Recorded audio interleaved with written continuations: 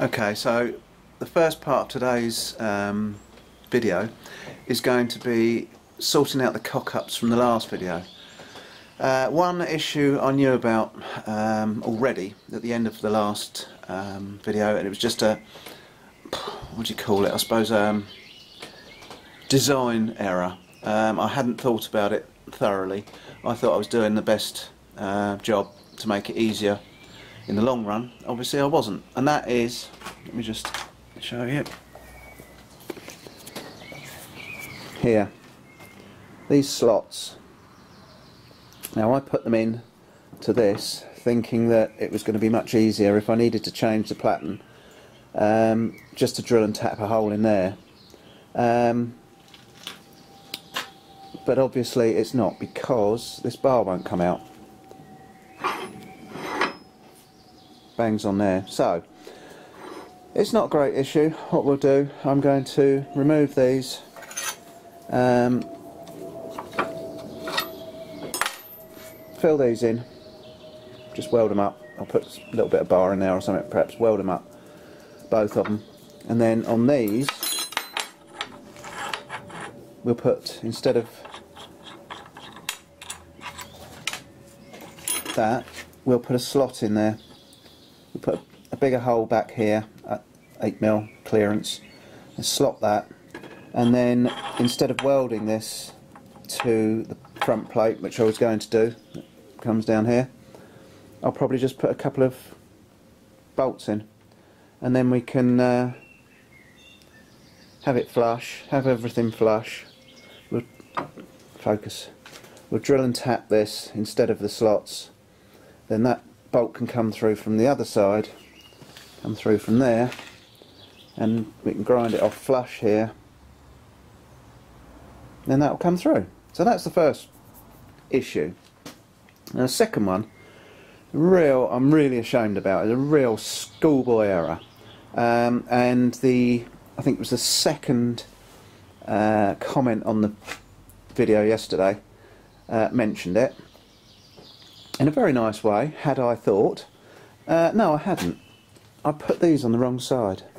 What a complete knob. They should have gone on that side because this side is where the belts are going to be running. From here. That way. Now, I've just mocked up a belt on it and I probably would get away with it.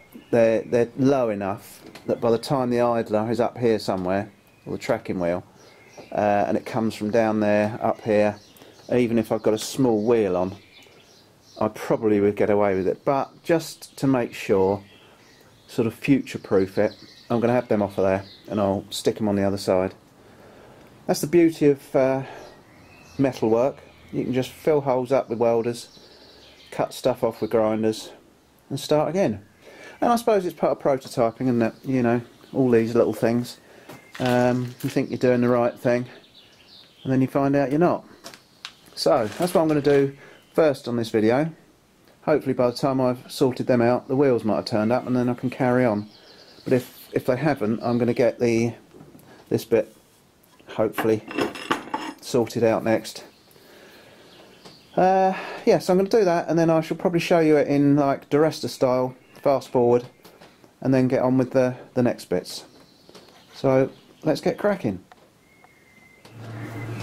Okay, so I've just cut a couple of bits of um, half inch thick material. Just cut them off about just under 8 mil because that's what the the gaps are. I've put a little bit of a chamfer on both the the little bits and the arm itself so that I can get a bit of bit of penetration. We're just whacking some weld in there. I turned it up a little bit so we get a nice bit of penetration because I want to get it right filled up because sometimes when you fill up holes like this you get sort of voids and I want to make sure it's completely filled up because that's where I'm going to drill and tap again. So just adding a few little bits to bring the edges up. Alright, we're just going to quickly grind it off actually this grinder I think or this disc has had it. It's not cutting very well. It's actually clogged, right clogged up. You can see. I'm just going to run a wire brush across it, see if I can clean it up. Mm, no, it's not much better. Still not taking anything. Let's put a new one on. There you go. That's better. I'll tell you what, once uh, we got a coat of paint on this job, you'll never know those slots were there. you'll have the bits of angle iron in the way as well on one side and the bolts the other side. Now that was hot. I shouldn't have done that.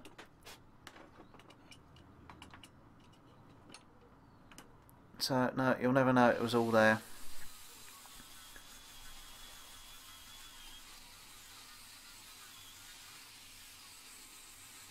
I suppose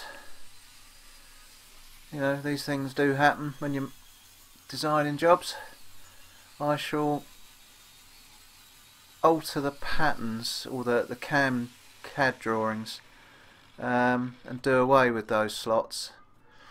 Um, and I'll possibly put in a couple of um, small holes to use as pilot holes. Um, you don't want to go trying to uh, tap through laser cut holes you'll find them very hard. you'll probably break your tap. Oh, bugger. Oh, it's like a bar of soap. Get hold of it. Get a pair of grips on it.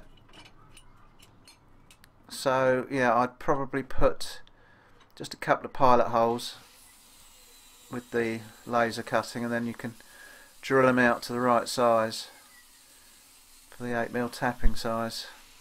That's if you decide to use 8mm. Might want to use bigger. Or smaller maybe, I don't know. Right, I'm just going to re-drill them. I've marked them because stupidly I didn't take the measurement of what how far apart they were the slots so I've had to sort of guess it I am pretty sure they were 120 120 uh, mil centres. So that's what I'm drilling these pilot holes at for the tapping size.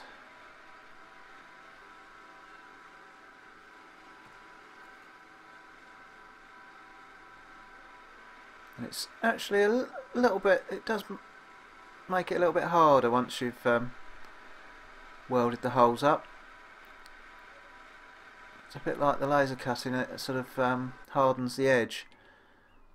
It must be just something to do with the the amount of carbon there is in the steel and the heat that you put into it with the welding. It's often a little bit harder where you've filled holes up which I've done on many occasions.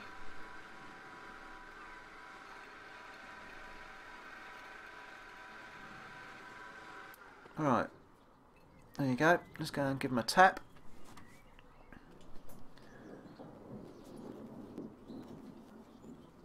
There we go. Sorted. Done. Right, let's get on with this uh, bracket you can see it's a right rusty old piece of uh, angle iron I managed to find. That'll be alright once it's cleaned up. I'm just going to slit them out with um, slitting disc on the angle grinder. Whip it through.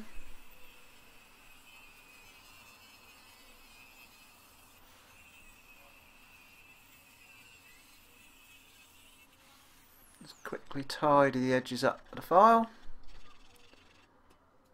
See if it fits. Look at that, perfect. Do the other one, which I won't bore you with. Alright, see if they fit on there now. Lovely job.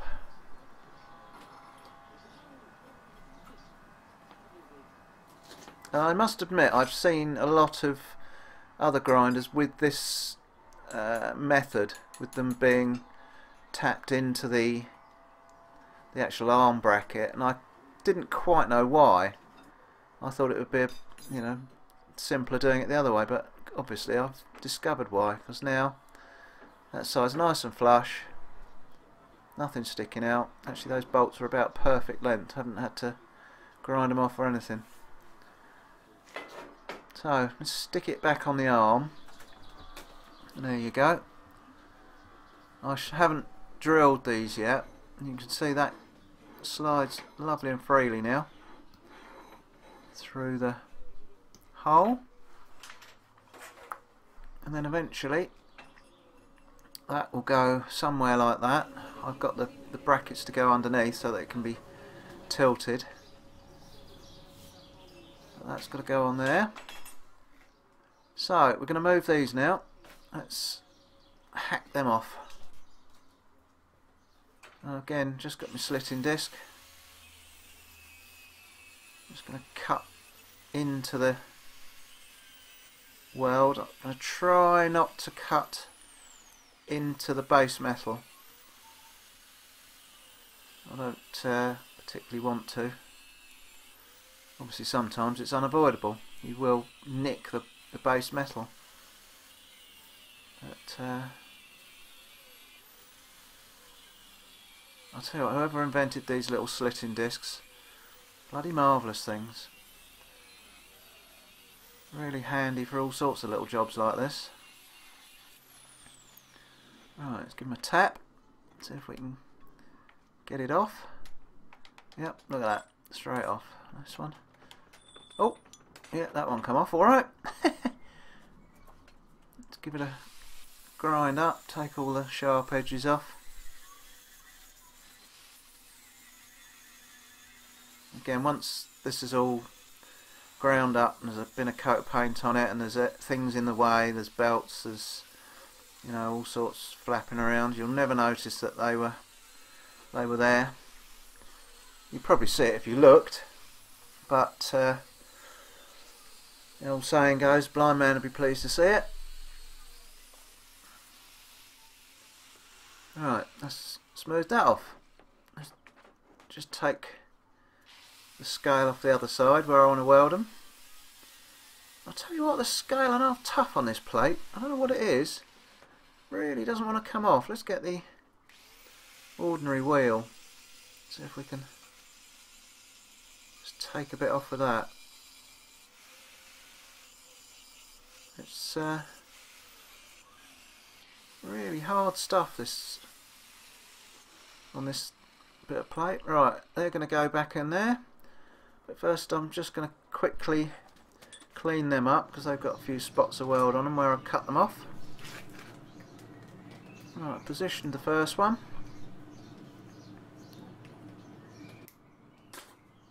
Let's whack it back on.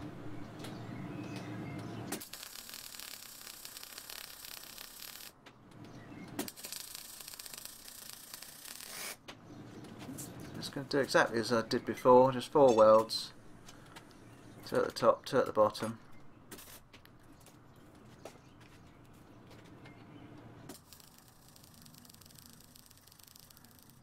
Like I said on the when I did it the first time, I don't want to uh, put too much heat into it and distort that side plate. I suppose really I should have put some more bolts in there so that it can't go anywhere.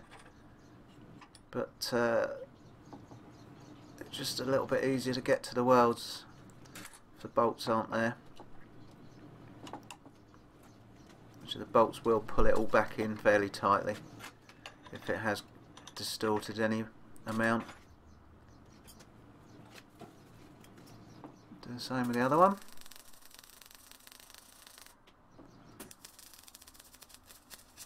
And I suppose it's often you get to see the same job twice on a, a series. I really can't believe I did that put them on the wrong side. I'd planned for them to go this side, really had. It didn't even occur to me when I was doing it I'd put them on the wrong side. What a complete dick.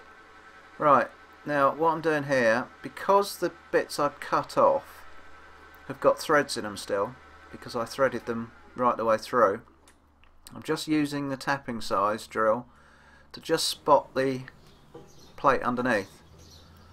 uh, then I shall pilot it and then put the tapping drill through again. So that's why I'm sort of changing lots of drills. Um, because there's not really another way of doing it and I'm too tight to have put two new bits of bar on and dr drilled and tapped through the whole lot perfectly good bit of bar so that's what I'm trying to do it's a bit tricky trying to line this up with all the bolts underneath. Get trying to get it level enough just to spot it. That's all it needs just a little spot. And we can pilot it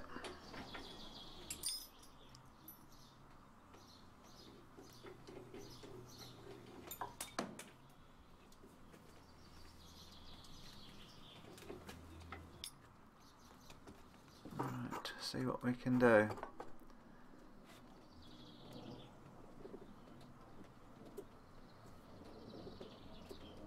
Tighten everything up. Away we go. It's not a foolproof method for drilling a tapping size through an already tapped hole but it's the best one I've come across. Um, you know sometimes it will your your tapping drill will wander and you'll take a little bit of the thread out. Um, but it, that's a risk you've got to take if you're doing it you know. That's how the cookie crumbles. If it if it does then you might have to start again if you take too much thread out. But uh, I'm gonna risk it. See how we get on if you get things fairly you know lined up and central you'll need to oh sounds like it's phasing I want to go um, yeah if you get things lined up and fairly central it all happens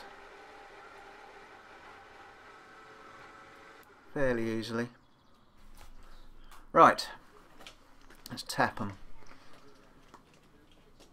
Now, and I made another bit of an error here. I've picked up just a little tiny tap wrench and it's making hard work of it.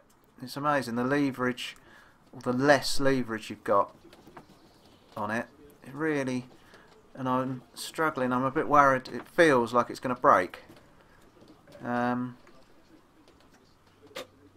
and again, I'm not sure if that's because it's slightly gone hard where I've welded it, but you would have thought that would have happened the first time when I did it on the other side, but it's it's going a bit tough.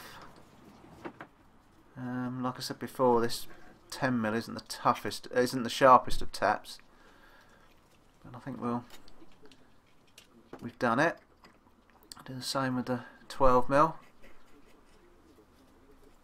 I really should have got the bigger tap wrench out again. I use that all the all the time for a 3/8 Whitworth for my shoeing for stud holes. Right, well there you go. See if it'll fit.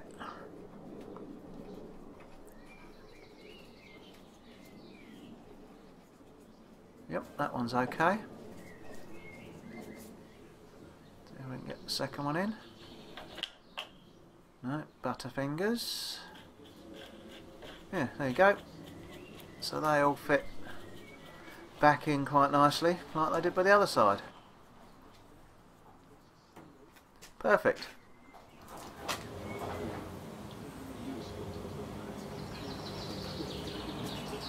Okay, so after that little effort, we're sort of back to square one where we left off yesterday. Um, but I'm feeling happier now that uh, I've got that sorted out. Um, but I have just realised I can't put the rest on yet uh, until I've got the wheels because I don't know how far spaced out the wheels are going to be from the bar that they're, they're on. Um, let me show you, hang on.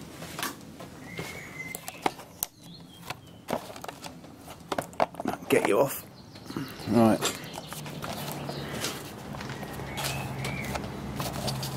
So, the wheels going on here, but they, actually, I think they have to be spaced out slightly.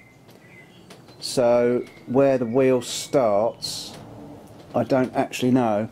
So, I can't really attach that anywhere until I know where the wheel's going to go because the where the belt's going to run. So I can't actually do that today. What I might do though is um, do what I said yesterday at the end of yesterday's is bolt this down. So I might just mark that, drill that, bolt that down. Let's see what we can do with that.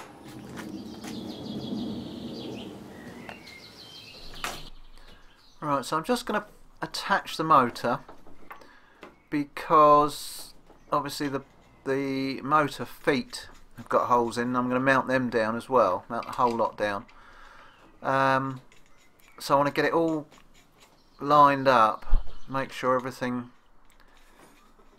sort of fits, so that I can mark all the base plate holes at once. I don't want to do the sort of the grinder bit and then at a later stage do the motor. So I'm going to do it all in one go. So I'm just going to tweak everything up.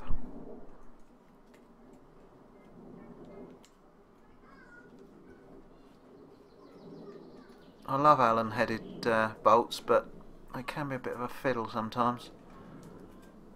I like the look of them, I think they look quite classy. And uh, obviously you have a job to strip them. Right, that's got that on. Let's see if I can line this up. Not quite sure exactly where to put it. I was thinking about trying to put it far enough over so that I could eventually tilt it. So tilt it to the left so that the um, grinding the belt was sort of underneath the machine so I could use it flat but I haven't got a big enough base plate plus I think it would be better to tilt the other way um, in which case I'd have to put it up on a bit more of a pedestal. But uh, I don't think I'm going to need it to tilt to be honest.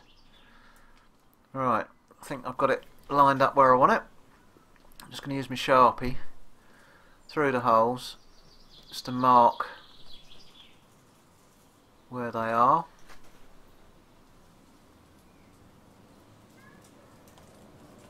Do the same the other side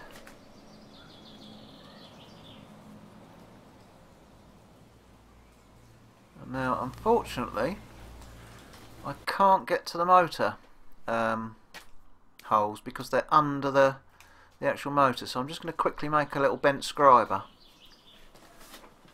Right, a little bit of stainless steel, bent scriber. Just so I can get under the body of the motor to scribe the feet holes. Do the other end.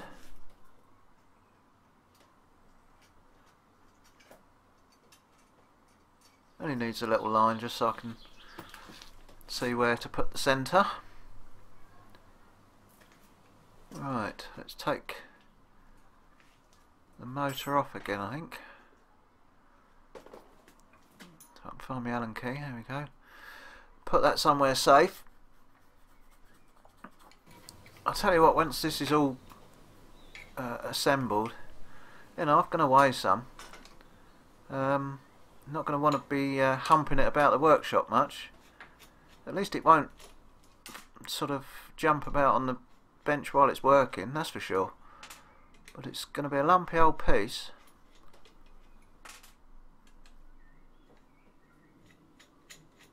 Oh, and the other thing I did, whilst I was, I didn't do it on the on camera, but whilst I was uh, rectifying my cock-ups, the um, little spacer in the at the top, right at the very top, which I put in was slightly large.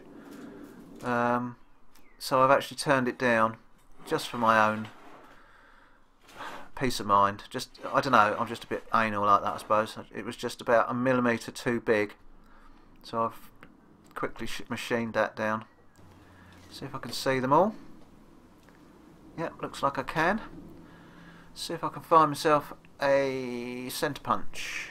I'll punch them rather than using that automatic one because it's really not much cop that.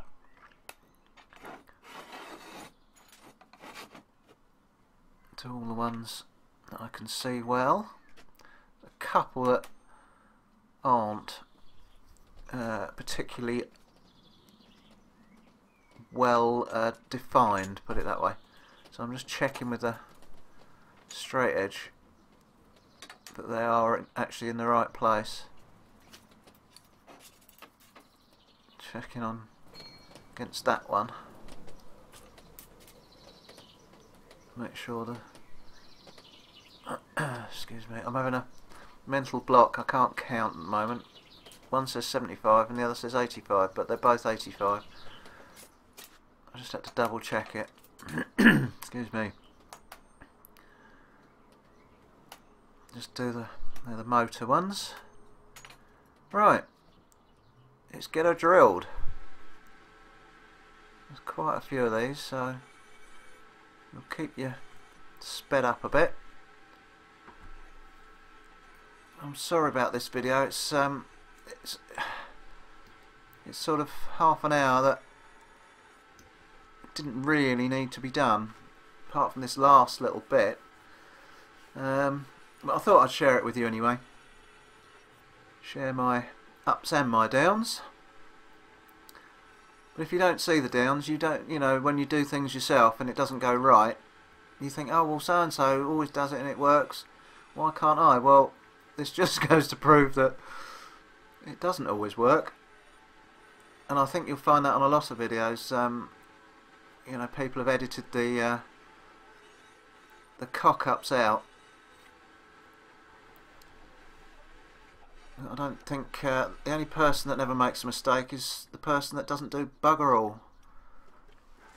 It's what I was always told as a boy. And I think it's pretty true. And I say, luckily with iron you can rectify things fairly easily. I dare say if you were working in the aircraft industry you'd have to start from scratch, but or the space industry or whatever. But basic old iron fighting like this, you can get away with all sorts.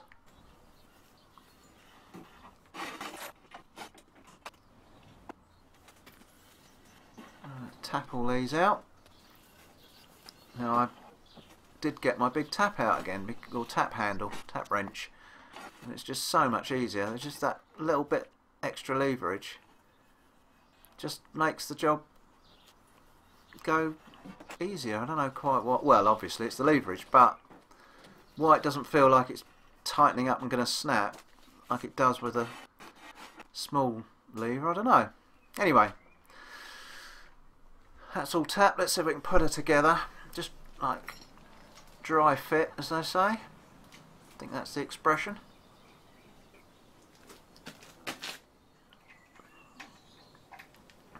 See how they go.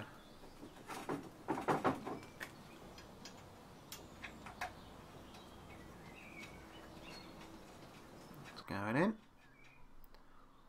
I could have done with some slightly shorter bolts for bolting this down, but when you get three bolts, you can't be too choosy.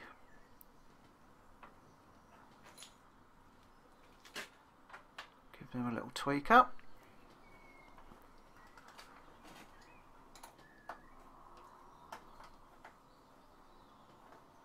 That one doesn't want to go in. I don't know what's happened there. Doesn't seem to be lining up, and I don't. It's probably just the way I've drilled it. That one's going in. See if the others are going in at the back. Yep, they're going in. So it's just that one. Those two are okay, and that one isn't for some reason. Oh, look at that. Sod's law, it's going in now. Just needed a net perhaps pulling over from the back with the back one.